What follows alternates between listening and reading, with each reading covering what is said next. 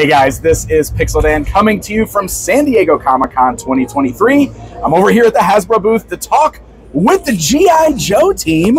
Happy Sunday, last day of Comic Con, guys. Happy Holy. Sunday! I We did it. We did it. We're here. We're here. We're here. We're doing it. Oh my gosh, it's been quite the show. It's been it exciting. has. It's been a great show. It has. It has. It has. It really has. So much going on. There's been a lot of people in here. It really feels like old Comic Con times It again. does. We really noticed that walking around. You got the shoulder to shoulder thing. Yeah. Yeah. and I feel wonderful. like fans have been excited Yeah.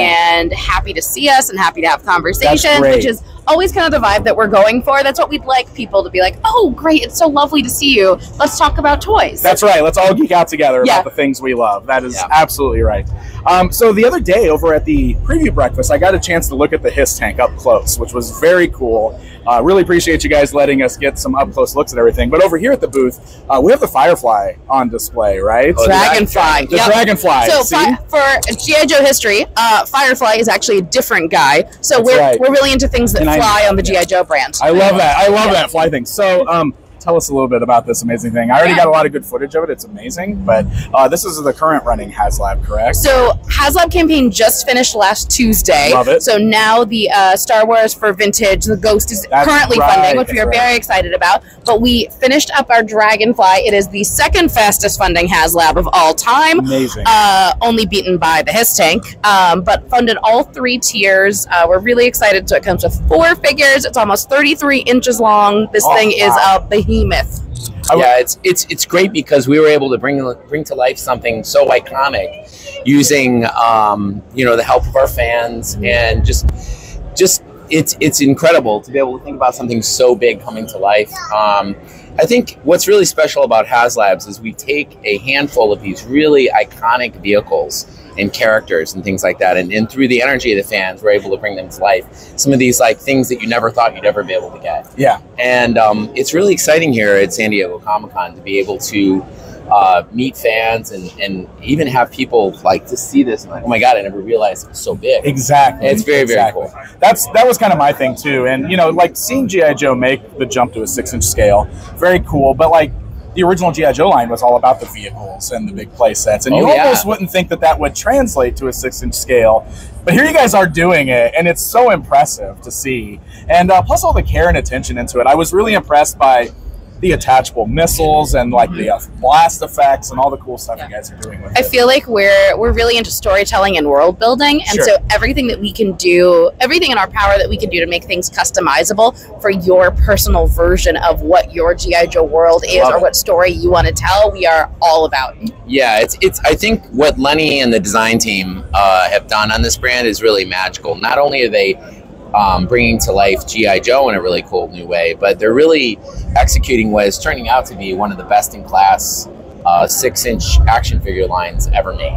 And and it's a universe of interchangeable pieces and parts and storytelling, like Emily pointed out, that allows fans to like have the best versions of the characters that they've always wanted, but also introduce it to a whole new generation of people because GI Joe and its in its very uh, core has always been inspired by the pop culture world in which it Yes, lives. yes, amazing.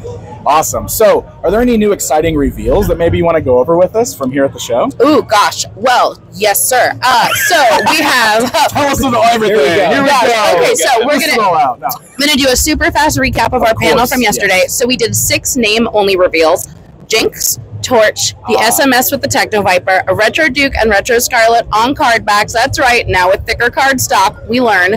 And uh, then we are doing a Vamp with Clutch. So then we had our digital render reveals. So we did Python Patrol, Copperhead, and Cobra Officer. We did Buzzer, Ripper, Hawk, Helix, and Shockwave. And then we revealed our Crimson Strike team, which is going to be a three pack, which will be our PulseCon exclusive offering. We launched three items that will ultimately be available for pre order Tripwire and our Fire Team 788, which are currently up on Hasbro Pulse. And then our Steel Corps Trooper 2 pack, available on Hasbro Pulse and Fan Channel and Amazon, Fanmazon, uh, that will be launching, I believe, on Monday. Somebody will correct me in the comments if I'm wrong.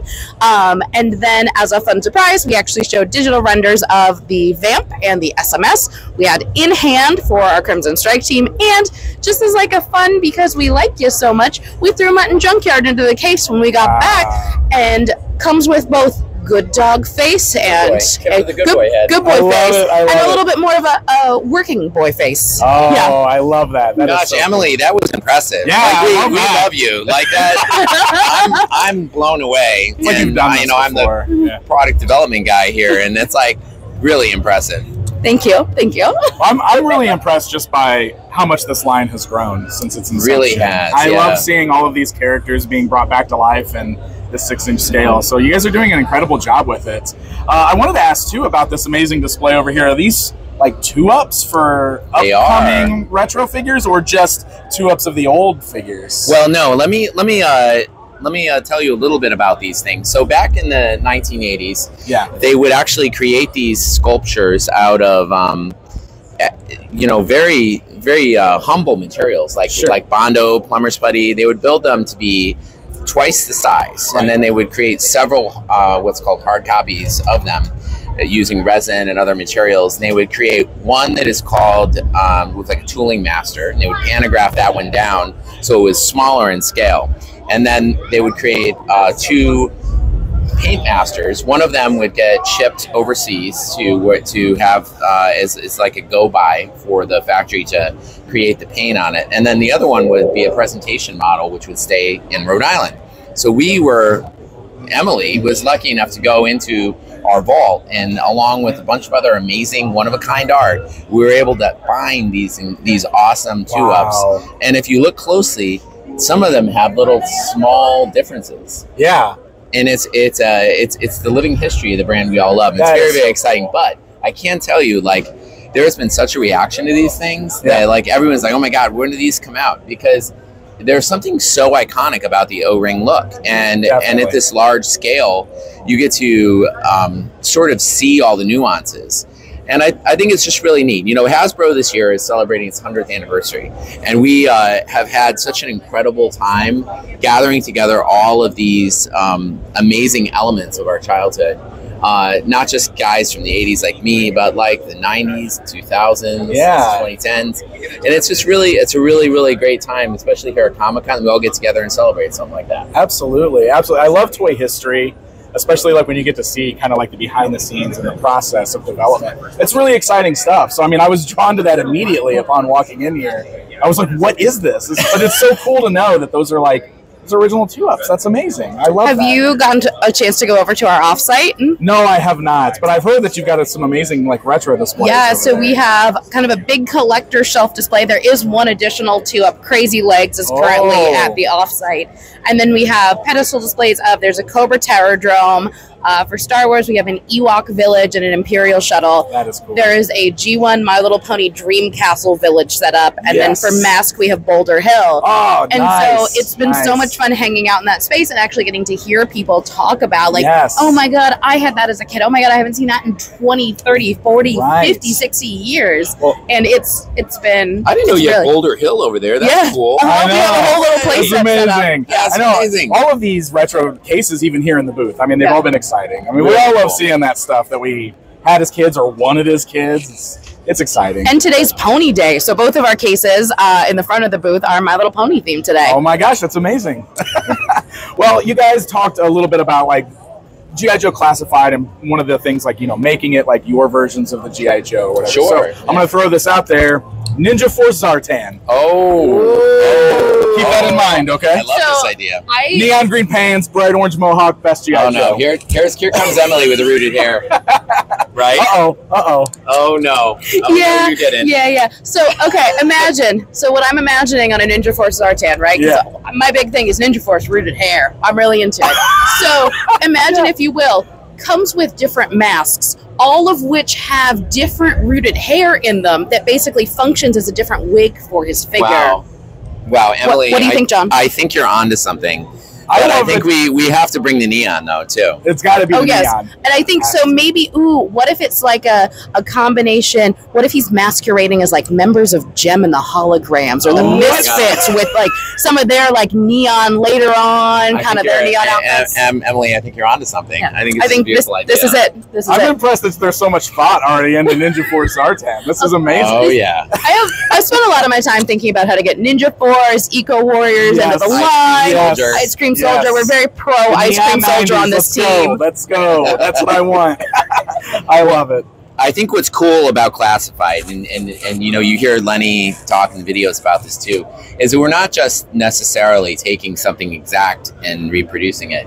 We're bringing it to life with new accessories, new parts, and in some cases, just the imagination of the incredible product development team and marketing team, branding team that we have at Hasbro to bring a new character to life for an all new generation. And it's I love uh, like I, I think that's what's really energizing the brand right now is that it's it's a new way to collect and play and in a scale that allows you to get all that awesome detail and maybe even rooted, rooted hair someday. Yes. Fingers crossed. Yes. And I think that there's there's also something about classified that kind of transcends the nature of time. It does. it appeals to people who have a deep history of, of the brand and understanding of the characters, but also appeals to people who have no idea who these characters are. But the figures look so gosh They darn cool Yeah, that like yeah. you just can't but help want to have them in your collection. Or they have accessories that work with other six inch figure lines. So if you collect maybe Legends or Black Series, No, like you're the totally accessories right. work with their figures too. I mean, and so, many of us are collectors of so many different types of lines too. Mm-hmm. So the ability of for them all to live on the shelf together, Oh, it's great. that's important, right? Yeah, that's it's really great. cool. That is awesome. awesome. All right, well, guys, that, thank you so much for your time. This was a really awesome chat. Great way to start you. the final day of Comic Con. So yeah. awesome. Well, there you guys go. Some inside info on Ninja Force Zartan from the Hasbro booth. Thanks to the GI Joe team, and stay tuned. More coverage from San Diego Comic Con is on the way. Stay up to date with Pixel Dan at San Diego Comic Con 2023. Follow Pixel Dan on YouTube, Twitter, and Instagram. Or you can support the channel through Patreon and unlock other exclusive content. Thanks for tuning in to your premier source for all things toys with Pixel Dan. See you again.